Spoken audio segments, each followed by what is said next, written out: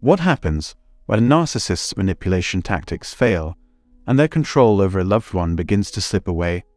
They may resort to their last and most dangerous trick, and this is quite unbelievable. The smear campaign is a tactic that a narcissist uses to ruin their target's reputation by spreading false rumors and lies.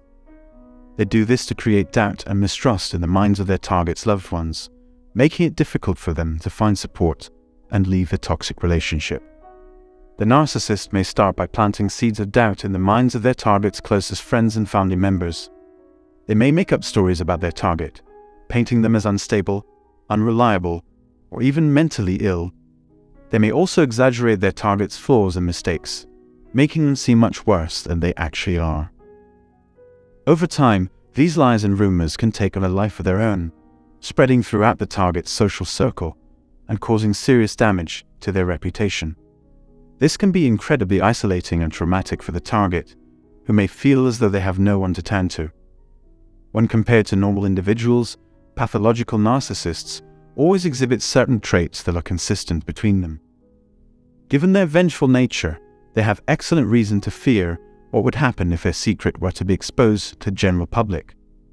Narcissists' actions are often a complete mystery to those around them.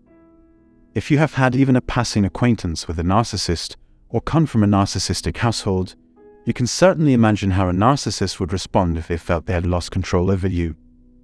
In line with a narcissist's need for constant affirmation from others, they have no foundation on which to build a comprehension of the world because they do not know who they are. They resort to shaming, threatening, and bullying others into giving in to their demands in order to gain the attention and affirmation they need, which can be unrealistic. They suffer from crippling feelings of envy and shame. And the strangest part is that they often act rudely to cover them up.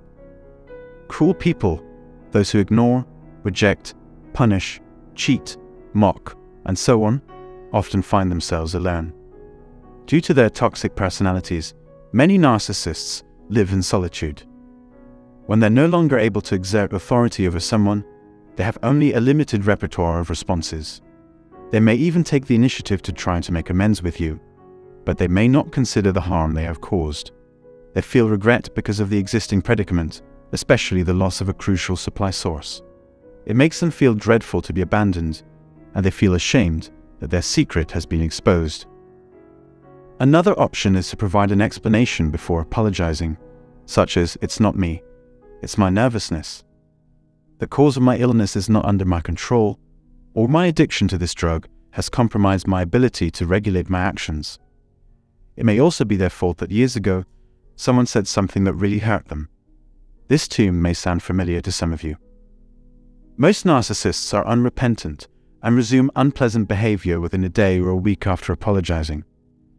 Narcissists have a habit of reverting to their earlier behaviors, even high functioning ones who can easily come up with new ways to execute old tactics. It's like a different presentation of the same harmful traits.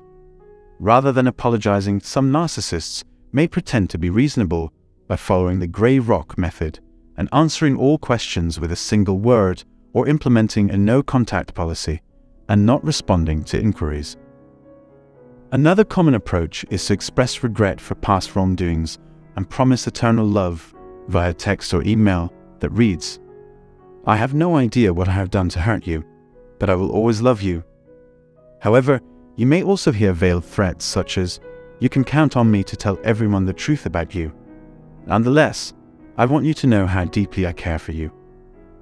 I won't try to dissuade you if you receive a message like this, or if someone begs you to give them another chance with an apology or tears, but I will advise you to reflect on your history with this person before making any impulsive decisions. There is a limit to how many times you can hear someone say, I'm sorry. Although the apologies may not have added up to a large number, it's important to consider how many times they've occurred. While tension may have eased after previous apologies, I don't believe that pattern will change, as narcissists typically don't change their behavior. Therefore, it's reasonable to expect a similar outcome if the same actions are taken. Secondly, narcissists almost never apologize when caught lying. They can't or will not confess to their harmful behaviors towards you or anyone else because they cannot or will not admit to their own shortcomings, misjudgments, blunders, or limitations. Most of the charges against you are completely baseless, with what you said or did being twisted or misrepresented to make you look bad. Narcissists will futilely attempt to mislead others about your genuine intentions and character by telling them fabricated stories. If you were in a long term relationship with a narcissist, they may have been an expert manipulator and gaslighter. You may start to doubt your own sanity if it seems like more people have faith in the narcissist than in you. Covert narcissists are masters of running a covert black campaign, giving the impression of humility and contrition to those on the outside. Thirdly, they may start contacting others you know outside of the relationship to convey their true caring for them, if they haven't already. Having total control over their immediate surroundings is of paramount importance to a narcissist. Whether it's letting someone know you're worried about them or just wanting to share your latest interest in something they might find interesting, it's always good to let people know you're still thinking about them. Once the narcissist has an instant connection with team members, they will start sending greeting cards, calling, and inviting them to get togethers. Narcissists, despite how they may seem to others at first, are constantly attempting to establish their goodness and worthiness of respect. This has a multitude of benefits for the narcissist. The goal is to recruit the victim's close friends and family as flying monkeys to carry out surveillance and keep tabs on you. They help the narcissist monitor you and gather information about you. The main purpose is to scare the victim into submission or keep them under the abuser's control, so that the abuser can keep harming the victim. This tactic allows the narcissists to manage their own and others' responses to challenging situations. Narcissism is harmful because it undermines its target psychologically first and then, if that fails, attempts to harm them physically. This is the fourth most important thing on the list. As things become bad, narcissists turn to projection techniques on their victims. Narcissists frequently use emotional blackmail to force their victims to take responsibility for the narcissist's negative actions. If a narcissist experiences the loss of a loved one or a close friend, they may try to use their grief for attention. This is rather daring, if you ask me. They will resort to any methods, including lying and manipulating others, to garner the pity of others in order to further their own interests. They will not stop begging, crying, whining, getting angry, etc., until the victim apologizes. When describing a scenario like this, I often say they're at the bed and playing the blanket. Fifth, they become bitter and petty with each other. It always looks like the problem lies within you. To this, the narcissist will respond, You have no business trying to guess my thoughts. There's nothing you can do about the fact that you've decided you can't stand any more of what I do. Remember that narcissists blame their victims for everything that happens to them. Sadly, some people just can't help but act in damaging or aggressive ways. They might tell people unflattering things about you. If it serves their purposes, they may withhold data, assets, and information. They won't think twice about doing whatever they believe is necessary to regain control over their prey. Instructing their victims to lead by example is a common phrase used to justify this kind of behavior. This brings us to the last point if the narcissist is unable to maintain their lies, power, or fear, they may try to form a trauma bond. Narcissists have a tendency to normalize their abusive behavior, which can deceive their victims into accepting it.